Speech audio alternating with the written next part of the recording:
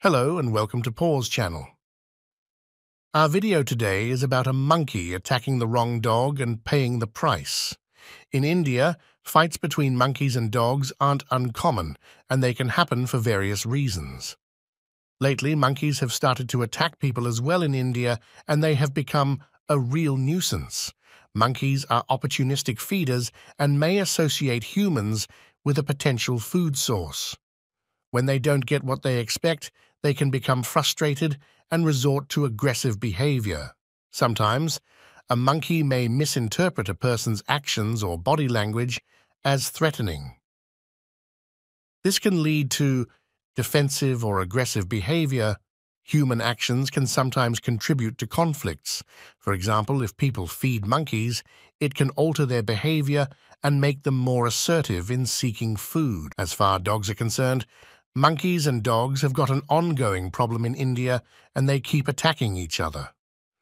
Monkeys are territorial animals.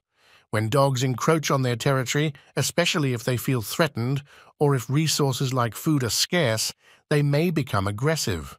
Both monkeys and dogs scavenge for food, and in urban areas they might compete for the same resources like garbage or food scraps. This can lead to confrontations. Female monkeys can be protective of their young.